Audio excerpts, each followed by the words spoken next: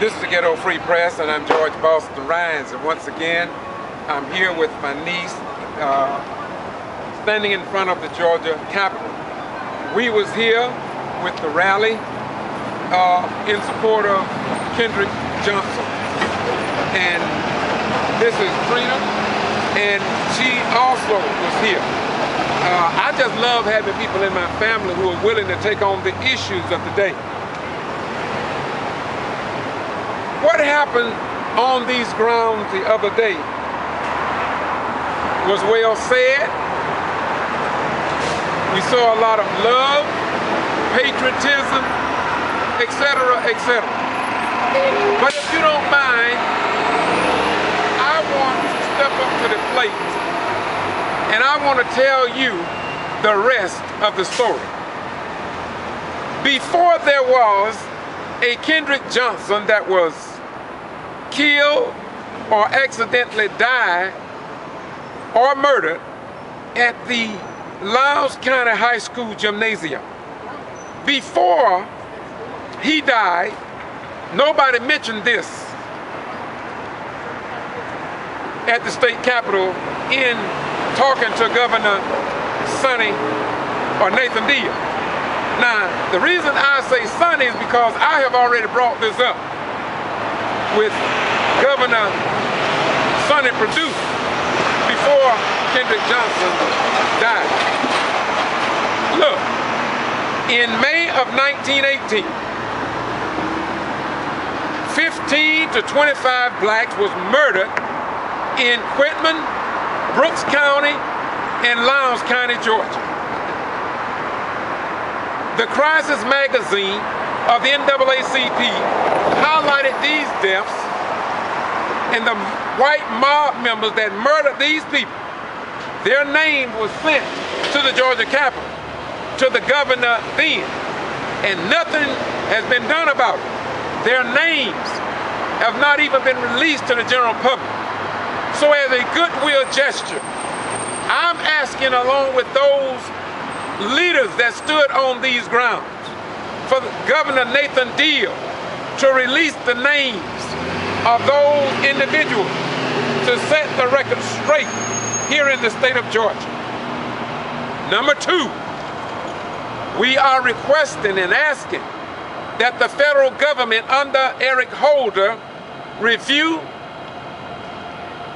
the Quitman 10 plus 2 case from the initiation to Lula Smart's trial that is a travesty of justice, in my opinion, although it was a mistrial. There was things that was done in that court case that the whole world needs to know about. I haven't finished yet. We have had blacks, Earl Evans, a foot, a basketball player, Ed Denson, all dating white women and was killed. Earl Evan was a police officer, burned up in the police car in Quitman, and nothing has been done about it along the lines of justice. Haven't finished yet. Mary Turner, a black African American female, was lynched, had her fetus, eight-month-old fetus, ripped from her stomach. A white mob member crushed the head of that baby with the heel of his boot. Nobody want to talk about that. So now, Brother Ryan, what are you saying? Wait a minute, gonna get better in a minute. Do you not know that the Secretary of State, Brian P. Kemp, sent an investigator from Macon, Georgia to Brooks County? He came and they highlighted major voting problems on a public meeting, at a public meeting on July the 17th, 2012. But do you not know that the Quitman Free Press, the Valdosta Daily Times, no South Georgia news media reported any of that to the general public. It dealt with blacks being intimidated at the polls when they voted by the GBI in terms of the Quitman 10 plus 2 voting irregularities. an 80-some-year-old mother in Morven, Georgia, refused to go to the polls to vote because she said she had been so intimidated by the GBI. Lula Smart trial highlighted just how the Georgia Bureau of Investigation dealt with the black voters there in Brooks County.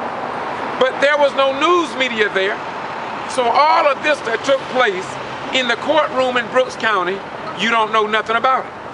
But it's all been documented because Jesus said in St. John 8:32 that ye shall know the truth and that the truth shall set and make you free. And so this is why I am here. I am somewhat disappointed because nobody, but nobody addressed the Quitman 10 plus 2 case on these grounds at the KJ rally.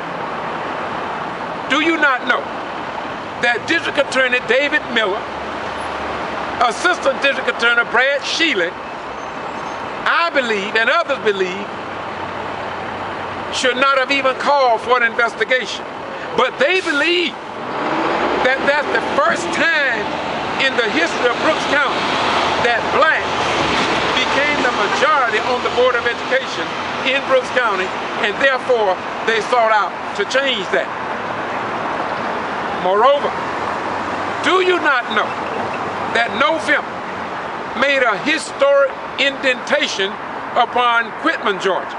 For the first time, a black mayor was elected to lead that little small South Georgia town by the name of James C. Brown III. But look, I published that on my YouTube channel. After I published it, then it showed up front page coverage in the Valdosta Daily Times. Well, that's nothing new. But the Quitman Free Press talked about it, but no real drawn out news article would show or reveal that historic accomplishment for the voters in Quitman, Georgia. And so we must understand that something is gravely wrong in here in the state of Georgia and under Nathan Deal, our governor. Do you not know that Valdosta and Lowndes County are leading the state of Georgia in jail deaths? From 1994 to 2009, it's been reported that 31 jail deaths have occurred for whatever reason. What have you heard about in your newspaper, on your television station, and on your radio station.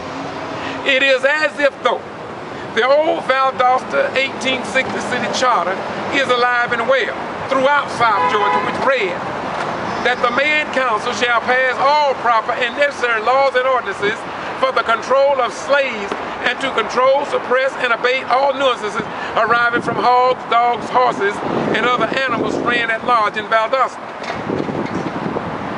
Do you not know that citizens to be heard in Valdosta are not allowed to call their elected officials by name and the elected officials are not permitted to respond to the voters, they make the statement that we will get back with you at a later date.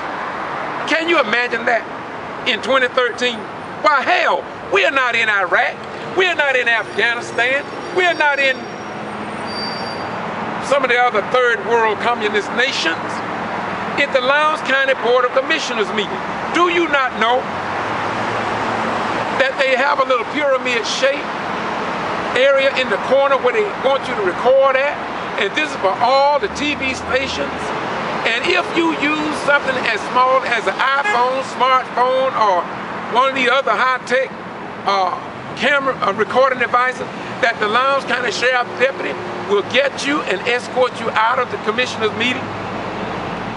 This is done in the state of Georgia. Do you not know, Mr. Governor Nathan Deal, that I served 21 years in the United States Armed Forces as a correct, outstanding, outright, law-abiding citizen, and yet on the May the 25th, 2013, following the death of Kendrick Johnson, that I, they put me under a criminal trespass warning that you should already know about. And until this date, nobody have said anything to me about it. I heard this on the Lowndes County Sheriff Deputy Radio. Yet, the sheriff denies any knowledge of it. Wes Taylor, the superintendent of the Lowndes County school system where Kendrick Johnson was found dead, denied any involvement. The probate judge, uh, court, the superior court, federal court, none of them know anything about it. Yet I have been restricted. I cannot go to one Lowndes County football game. Not in Russia, not in China, not in Germany, not in Somalia, not in Pakistan or Afghanistan, but right here in the state of Georgia in the United States of America. And so you tell us about freedom, you tell us about a constitutional right. It seemed to me that we are looking back in the 1800s, to be exact, 1857, during the Dred Scott decision. During the Dred Scott decision, it was written as passed by the Supreme Court that no black man had any rights that a white man had to respect. And so I'm standing here in the state of Georgia on the Capitol steps in Atlanta to say to Governor Nathan Deal that it is indeed time to listen to the, what the people said the other day on behalf of the Georgia citizens and though all those who frequent Georgia. Listen, I haven't finished yet. Do you not know that the Honorable President of the Southern Christian Leadership Conference, Floyd E. Rose, was threatened, received racial slurs at a at J.C. Shack polling place in Valdosta, Georgia. And a white Caucasian were arrested, taken to the jail, and yet, when our local and only daily newspaper, the Valdosta Daily Times, refused to publish his name, no, no, no, no, no, I'm sorry, refused to even publish the incident itself. I asked them to report it, and eventually they reported it, but you not, do you not know they never mentioned his name? Let me close on this note. I got many more, but I got to tell you about the KJ case. I got to tell you about my criminal trespass warning, but I forgot to tell you about the 14-year-old girl that was handcuffed, hog tagged behind her back because the Lowndes County Sheriff Deputy to, to, to uh, charge her with attacking an educator, hitting an educator. The educators wrote out a valid statement along with others saying that that 14-year-old black girl never even struck an educator.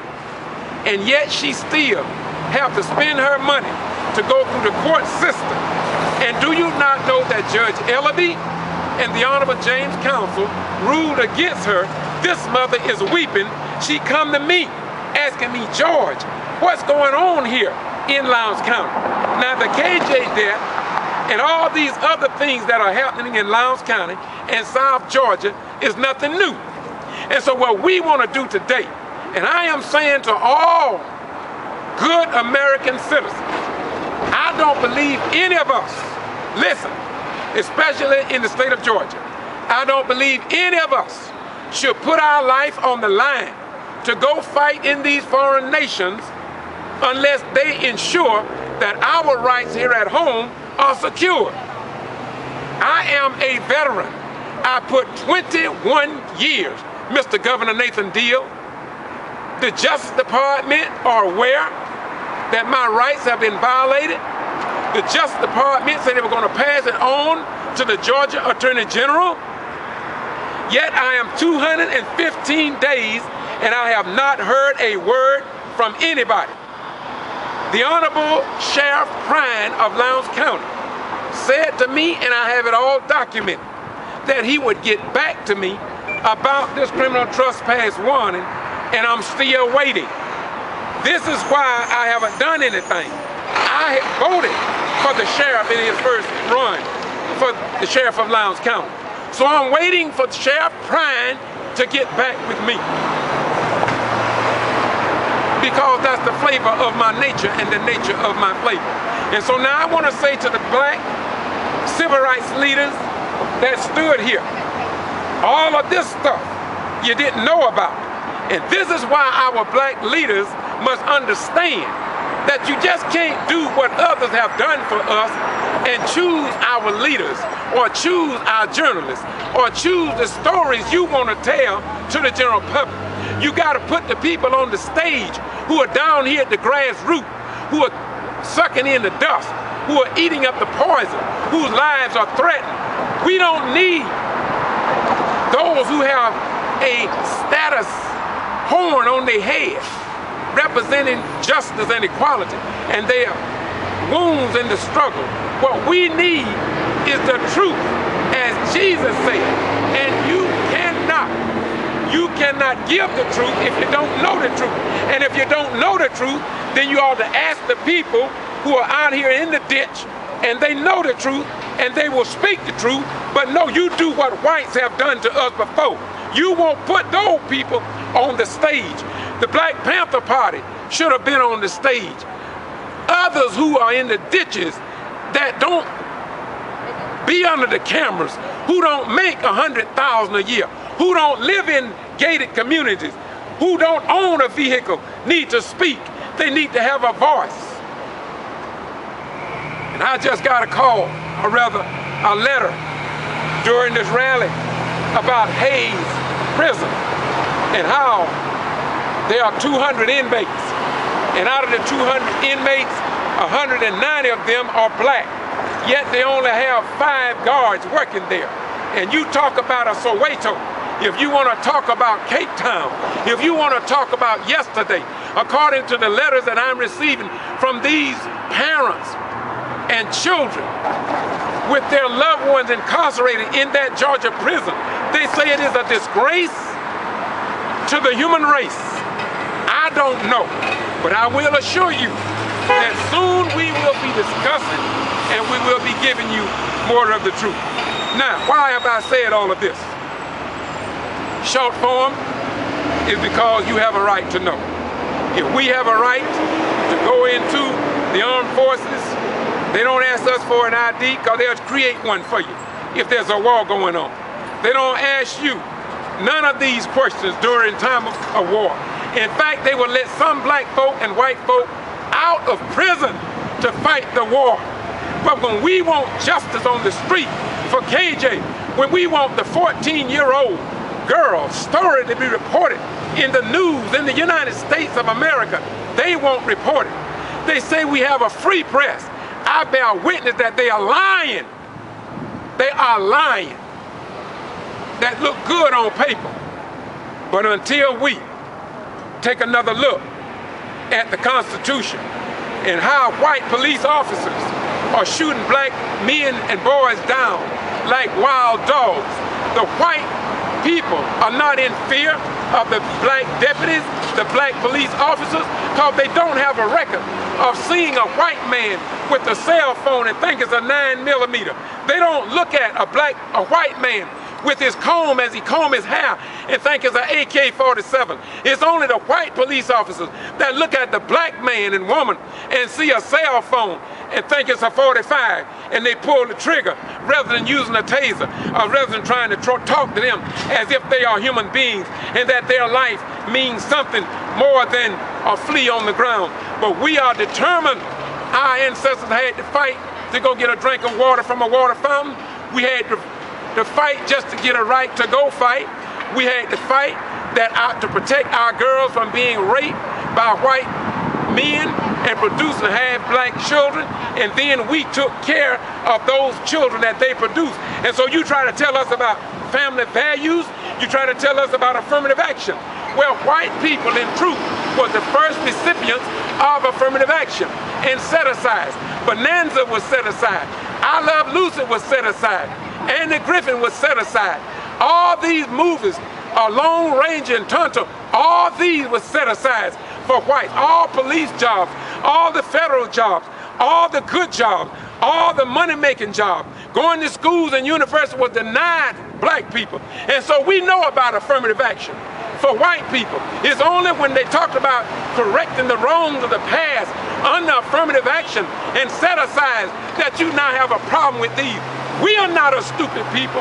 We are an educated people, just like our ancestors that built the pyramids in Egypt. But you don't want us to know that. And so you hid our history. But Jesus said, and ye shall know the truth, and that the truth shall set and make you free. I'm going to close now because I love you so much that I had to do this clip. Once again, this is the Ghetto Free Press, and I'm George Boston Rhymes. Bye-bye. We go.